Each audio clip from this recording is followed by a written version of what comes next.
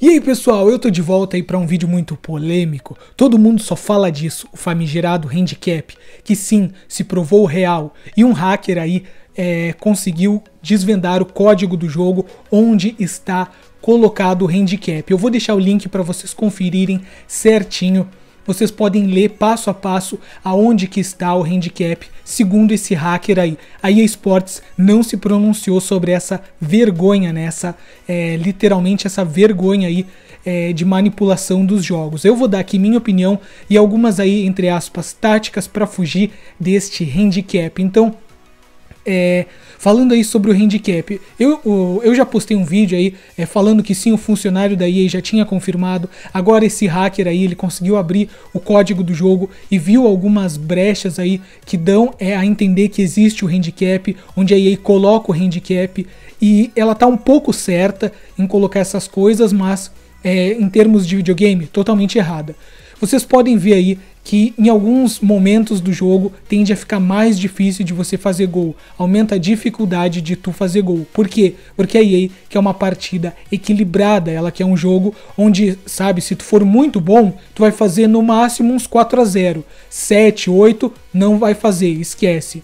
E se o cara for e, e, e, o cara ainda, ele tem a chance de te fazer gols sendo ruim. A bola tem mais chance, né, de entrar, porque, por exemplo, como diz ali, é, a sua chance de fazer gol diminui, enquanto a chance do adversário continua a mesma. Não importa se o teu é, zagueiro é, é, o Company ou é um zagueiro bronze. Não importa se o goleiro é o Lorri ou é um goleiro lixo, entendeu? Por isso que muitas vezes muitas pessoas reclamam que os seus times muito bons é, não conseguem jogar bem, desempenhar um bom papel contra times medianos. Na verdade, é o handicap interagindo aí com você, é o handicap na verdade agindo na sua gameplay. Uma sem vergonhice, né, desgraçada da EA Sports. Então, é, eu não sei se uh, é realmente verdade ou não, eu acredito bastante, porque eu jogo muito FIFA, né? Eu joguei muito, eu dei uma parada, mas enfim, eu joguei muito FIFA, tenho mais aí de 500 partidas e posso aí é, atestar que sim, existe manipulação.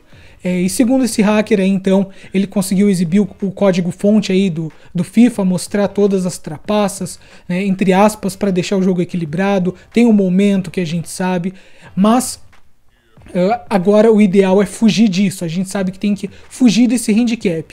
E muitas, muitas pessoas falam em fazer time bronze, em fazer time prata. Nada disso, pessoal. O handicap ele favorece o cara que é pior.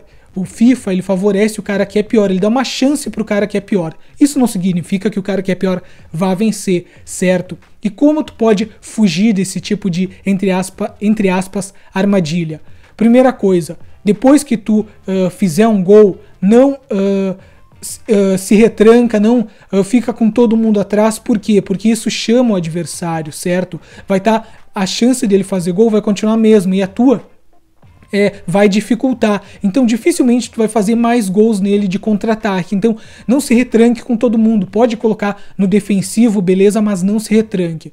Segunda coisa, cabeça fria para tentar a melhor jogada. Não fica tentando chutes de longe, não fica tentando é, jogadas dribles nada a ver, sabe? Jogadas despretensiosas. Não tente isso, certo? Por causa que o jogo ele vai dificultar a sua chance de fazer gol. Então, um jogador que chuta muito bem de longe vai ser difícil é, dele conseguir fazer um long shot bonito e entrar na gaveta, enfim, é, vai, vai ser difícil do seu time conseguir uh, ampliar o placar. Então não tente coisas, entre aspas, insanas, firulinhas, seja mais crítico na cara do gol, certo? E quanto à defesa e ataque, eu já fiz dois tutoriais é, sobre isso, já estão passando aí para vocês no final desse vídeo, certo? Vão estar tá passando os dois tutoriais sobre ataque e defesa, vocês podem clicar no final do vídeo. É, e o principal, paciência.